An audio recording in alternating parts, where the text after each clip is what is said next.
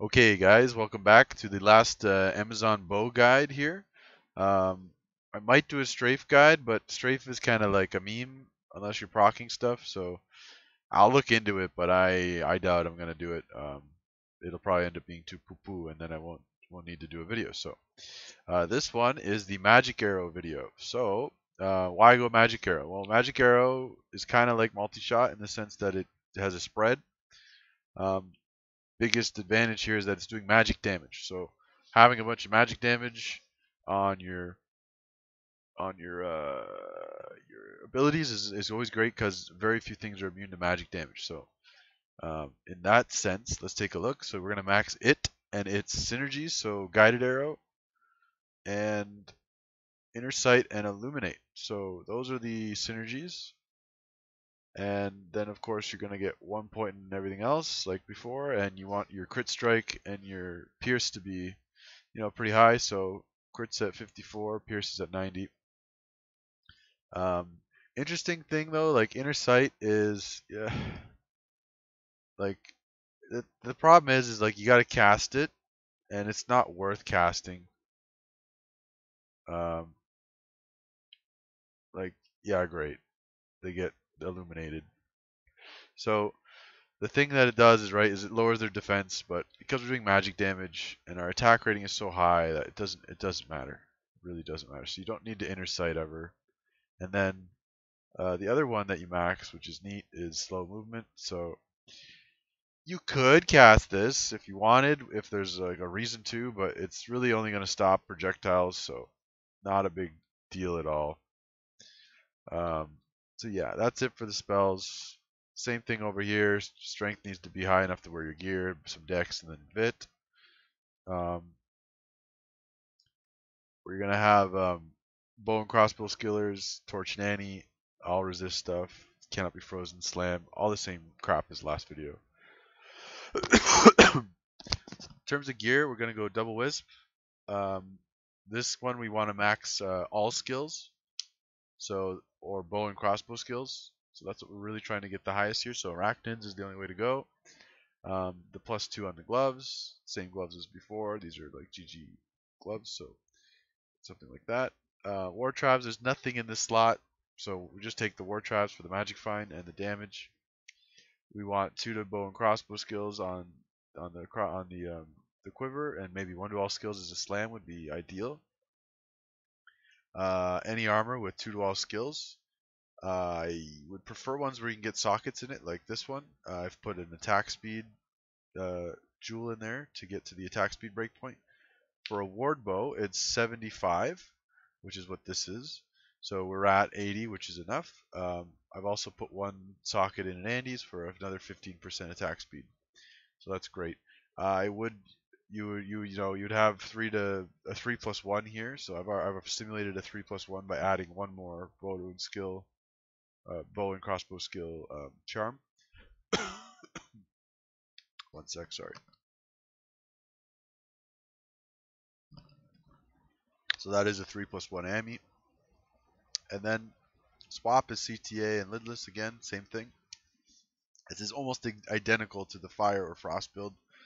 Only difference here is that there's no way to there's no such thing as a magic facet and there's like no not many items that increase your magic damage so none that are ranged for our case. So there's really only two bows because our our primary goal here is to get as many points in magic arrow as possible. So this one gives us six. As you can see we get two design skills and four overall. I've upped this to a ward bow so it does more damage it also has 15% mana steal, which is cool. A lot of enhanced damage, and I've I've put three sockets in here with enhanced damage um, jewels. So that's the one option. Second option is a Zenith. Zenith has five dual skills basically for us.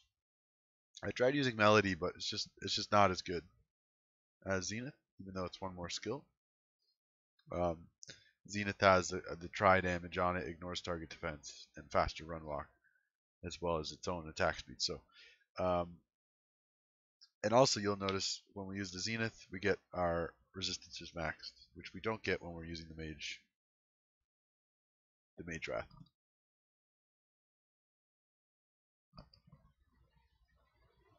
So keep that in mind. You're using one of these two bows. Let's use this one for now. Um, again, we want Fanaticism Aura. Nothing different here on the on the Merc. You buff yourself, summon your stuff, buff it. Not much to say. Um, you, you have one spell. Guided Arrow doesn't scale with magic damage, it scales with physical damage. So you're never using that. Sheet damage is 9 to 11k uh, magic damage, which is about around the same as the Sanctuary Paladin. So these are pretty much in line with each other.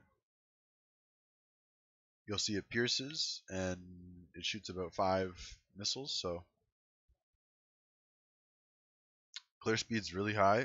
It's pretty good, like nothing wrong with it.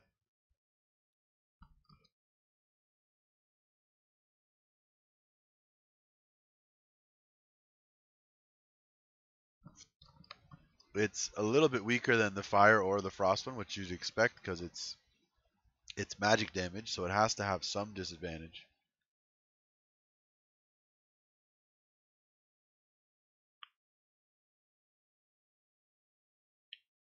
You can see the attack speed on a ward bow is really nice. It's like 3.57.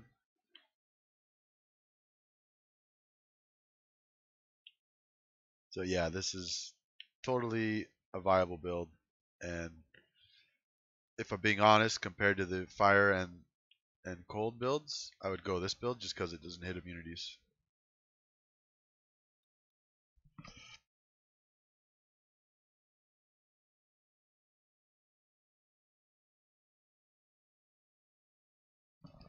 So now let's try the Zenith.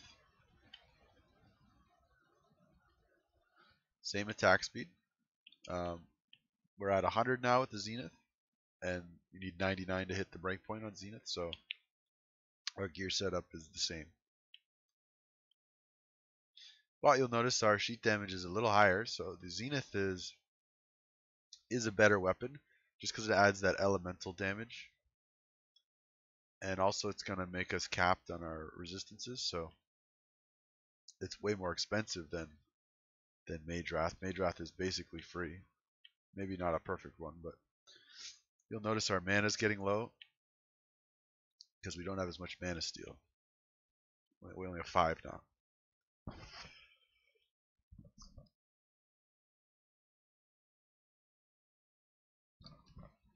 So, so that is one thing to consider. It's more damage, but you don't have as much mana. And uh, sorry, I'm losing my voice now, so I'm gonna cut the video early. But basically, yeah, magic, magic arrow is a thing. It works, and it's just about as good as the other ones, if not better, because it doesn't hit immunities. So I'll leave that there, but definitely consider it. This one will be pretty viable and really not that expensive.